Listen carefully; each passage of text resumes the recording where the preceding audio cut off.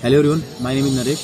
The video है regarding SSC CPO 2019 and 20 medical तो सबसे पहले सॉरी क्योंकि काफ़ी टाइम हो गया था मैं वीडियो रिकॉर्ड नहीं कर पा रहा था। तो ये वीडियो होगी पर्टिकुलरली नोकनी और फ्लैट फुट पे क्योंकि तो नोकनी में बच्चों को काफ़ी कन्फ्यूज़न रहता है। ठीक है? तो सबसे पहले मैं आपको बताता हूँ डिटेल क्या रहती है वहाँ पे कैसे नोकनी का प्रोसेस क्या है चेक करने का। जब आप खास करके ये वीडियो है सीआरपीएफ अजमेर के बच्चों के लिए जो वहाँ पे देने जाएँगे। सबसे पहले आपकी एंट्री होगी, ठीक है? एंट्री होने के बाद नौकरी चेक करने के लिए आपको सबसे पहले बिल्कुल आपके सारे कपड़े उतरवा दिए जाएँगे, आपको ओनली अंडरवेयर में खड़ा रखेंगे ठीक है? बिल्कुल अच्छे से उतार देंगे, फिर आपको जब आप एंट्री करोगे ना एंट्री करने के बाद दो तीन रूम्स बने हुए हैं साइड में, नीचे की तरफ़, वहीं डॉक्टर्स बैठते हैं तो डॉक्टर्स आपको ले जाएँगे स्टेयर्स की तरफ़, जो आप मेरी आप प्रीवियस वीडियो में आप देख चुके होंगे। जो ग्राउंड होगा, उस ग्राउंड के साइड में स्टेयर्स होंगी। उस स्टेयर्स पे आपको ले जाएँगे। जैसे कि लगभग बीस बच्चों का बैच होगा। उन सबको सबको एक साथ लाइन में खड़ा कर देंगे। ठीक है? लाइन में खड़ा करने के बाद, उन लोगों से बोलेंगे कि कंटिन्यू जंप करो आप।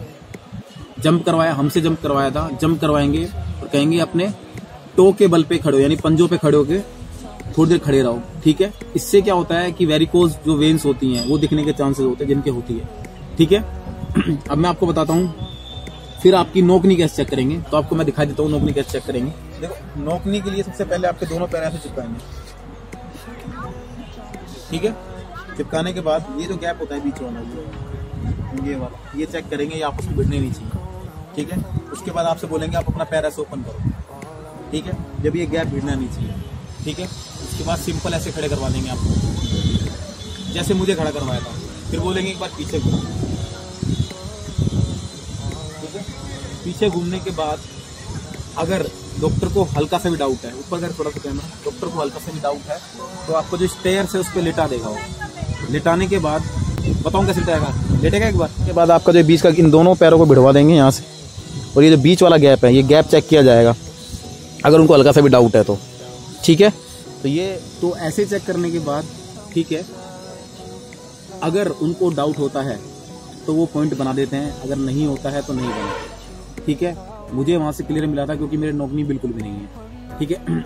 इसके अलावा, ये उन बच्चों के लिए है जो जब नौकरी चेक करवा रहे होते हैं वहाँ पे तो थोड़ा ज़्यादा एक्टिव बनने की कोशिश करते हैं। तो आप जितना ज़्यादा पैरों को अपनी एंड से कोशिश करोगे कि थोड़ा गैप रखें, आप पे वो उतना ही टाइम लेंगे। ठीक है? उनको पता है कि सामने वाला चीट कर रहा है। ठीक है? तो अगर आपकी नौकरी है डेफिनेटली आप, नौकरी आपके है, और डॉक्टर आपका टफ है तो डेफिनेटली वो पकड़ लेगा। अगर डॉक्टर लीनियंट है, जैसे कि, सेंटर पे डॉक्टर लीनियंट भी था तो एक बच्चे की माइनर थी, नौकरी तो उनको क्लियर कर दिया था, कोई इशू नहीं था। बट डॉक्टर अगर अब स्ट्रिक्ट आ जाता है तो देन आपको इशू क्रिएट हो सकता है। तो ये नौकरी का था। इसका सोल्यूशन ये है कि आप लोग यूट्यूब पे या फिर कहीं पे भी गूगल करके चेक कर सकते हैं, नौकरी की एक्सरसाइज होती है, नौकरी सही करने की तो आप वहाँ से एक्सरसाइज करके अपनी नौकरी इम्प्रूव कर सकते हैं। ठीक है? तो ये वीडियो थी नौकरी के बारे में। एंड इसके अलावा फ्लैट फुट का मैं आपको बता देता हूँ। फ्लैट फुट में क्या डिस्कस करने वाला था मैं। फ्लैट फुट में क्या होता है कि आपके जो पैर है, एक सेकंड ले गया फ्लैट फुट फ्लैट फुट में जैसे आपके पैर है, पैर दिखाने ये जो पैर हैं आपके, ठीक है, इसको ये ऊपर यू करवा ठीक है चेक करेंगे। वापस आराम से। उसके अलावा इसमें कुछ चेक नहीं हो मैं आपको बता देता हूँ कि आप एक काम करना। घर में थोड़ा सा मतलब पानी कहीं भी इकट्ठा करके उस पर पैर रखना और सूखे एरिया में चलना फर्श पे ठीक है? अगर थोड़ा शेप ऐसा आता है मतलब फ्लैट शेप नहीं आना चाहिए आई I मीन mean, इस टाइप का शेप नहीं आना चाहिए इस टाइप का शेप नहीं आना चाहिए ठीक है? थोड़ा ऐसा शेप आना चाहिए एक, एक, एक शेप ऐसा होता है ऐसा ठीक है? ऐसा शेप होता है पूरा ये आना चाहिए शेप ठीक है? तो उनके फ्लैट फुट फ्लैट फुट में कोई बाहर नहीं हुआ था मेरे ख्याल से ठीक है? तो ये वीडियो इसके बारे में थी एंड कोई भी डाउट हो आप पूछ सकते हैं कमेंट सेक्शन में।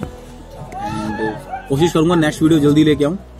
एंड आपको कोई भी क्वेरीज हो, कैसी भी तो आप इंस्टाग्राम पर डायरेक्ट मुझे मैसेज कर सकते हैं। मैं नीचे मैंशन कर दूँगा इंस्टाग्राम आईडी मेरी। एंड सेकेंड थिंग कि मेडिकल आप लोगों को आने वाला है तो good luck and thank you